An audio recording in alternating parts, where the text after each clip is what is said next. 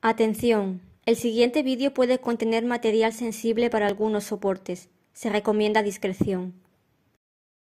Hola a todos, bueno aquí estamos listos para empezar, vamos a buscar qué VPS usaremos para nuestras pruebas. Aclaro que el servidor estará completamente vulnerable e iremos asegurándolo video tras video.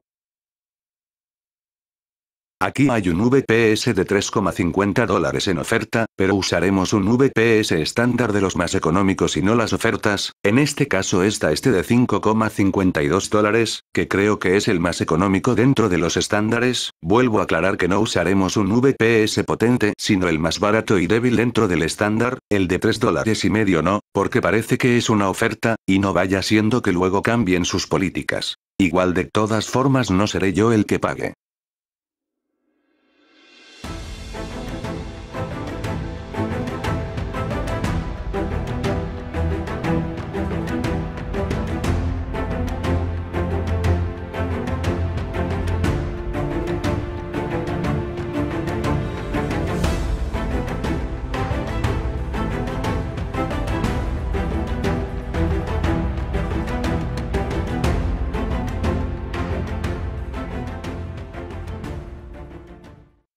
Bueno pues, aquí ya está nuestro VPS, gracias BookSupport por donarnos el VPS, personalmente dudo que sea una buena idea resucitar a un muerto pero, veremos a dónde nos lleva esto.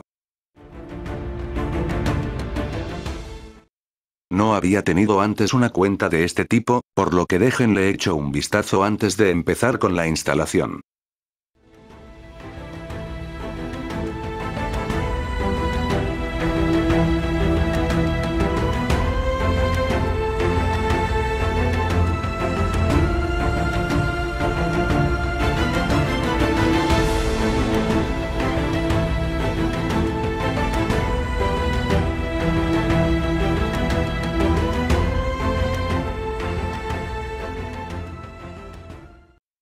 Parece que los datos para conectarnos a la Shell, le llegan por correo, una vez comprado, asimismo le llega el nombre de usuario y contraseña, por cierto el nombre por defecto que llega en este caso es CentOS, si mal no recuerdo el nombre cambia según el sistema operativo que instalas, en este caso tiene CentOS instalado.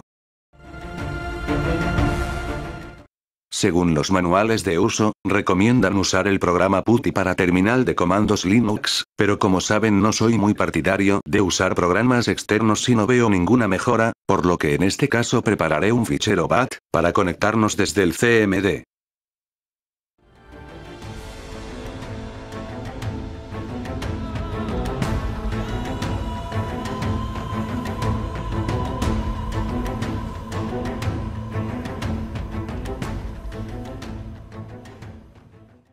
Ojo aquí un detalle, no todos los CMD están preparados para conectarse a la Shell, para saber si el tuyo tiene la opción habilitada debes teclear SSH, en la terminal y darle a Enter, si te sale en la lista de comandos como aquí entonces sí está habilitada esta opción, de lo contrario simplemente no reconocerá el comando. Bueno, también necesitaremos la licencia y el generador de licencias, por cierto hace unos años un idiota solía decir que su amigo ecuatoriano craqueó esta licencia, pero pronto lo desmentiremos, y desmentiremos todas las babosadas que esta gente ha sembrado como mitos en los chats. Aquí hay un detalle que algunos pudo haberles pasado, que al intentar ejecutar este crack, simplemente no les ejecuta, bueno pues para solucionar esto solo hay que crearse un fichero BAT para que ejecute el fichero crack asociándolo con el Java. Estos archivos pueden pedírselos a cualquiera de los soportes que aparecen al final del video, al menos hasta que yo pueda subirlos a una página donde no lo borren.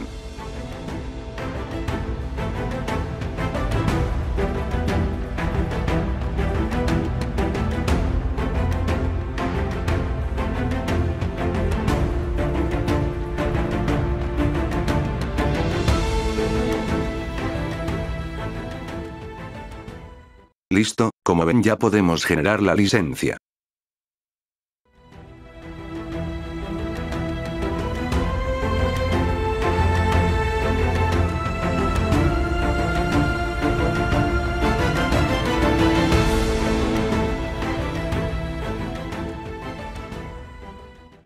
En este caso usaremos este dominio, que fue un aporte de Miau, y la dirección IP del servidor para poder generar la licencia.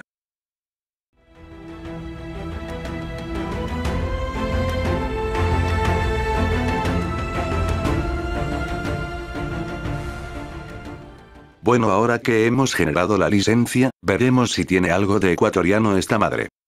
Como podrán ver, esto está escrito en chino, y para colmo ni siquiera cualquier chino, sino chino antiguo, como lo sé, pues más adelante se los explico. Solo se los hice ver, para que vean las barrabasadas que algunos dicen con tal de echarse méritos, y crearse una fama que no les pertenece, supongo que después de este video usarán ataques 2 a esta IP de puro coraje al ver sus mentiras expuestas. Subiremos pues la versión más vulnerable 9.9 al servidor ya que creo que de esto se trata, los que tengan la licencia 10.0 y deseen colaborar con esta para mostrarlo pueden compartirlo. Mi Skype está en la descripción. Bien, una vez subido, vamos a entrar a la shell por medio de nuestro archivo BAT.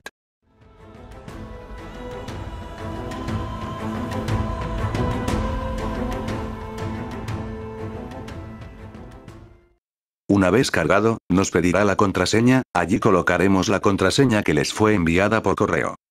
Una vez colocada, le damos Enter, y listo, hemos ingresado, pero hemos ingresado con la cuenta CentOS, esto significa que ingresamos con una cuenta de usuario y no como root, así que esta vez ingresaremos como root para cambiarle la contraseña. Para esto tecleamos sudo, su, y le damos Enter. Hecho esto, teclearemos el comando PASSWD, y nos pedirá que ingresemos la nueva contraseña. Una vez ingresada, nos pedirá que la volvamos a ingresar, tecleamos Enter y listo.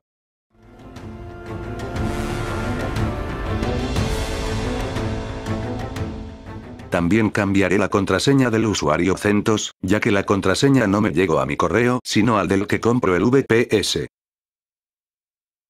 En el caso del usuario CentOS, les pedirá que vuelva a ingresar la contraseña anterior antes de cambiarla. Y la contraseña nueva que ingresen después no podrá ser idéntica a la del root.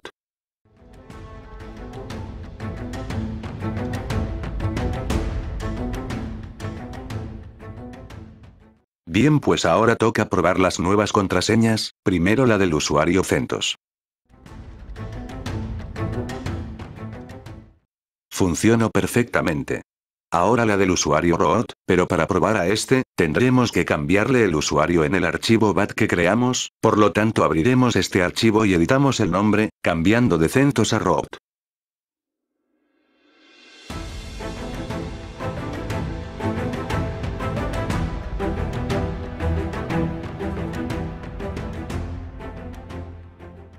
Listo, también funcionó perfectamente.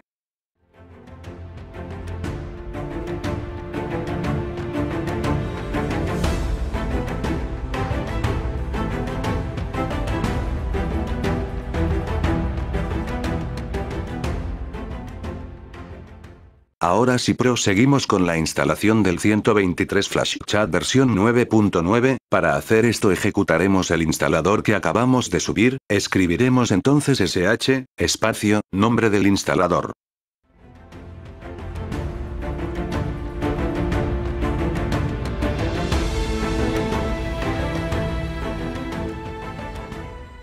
Luego simplemente, seguimos la guía del instalador.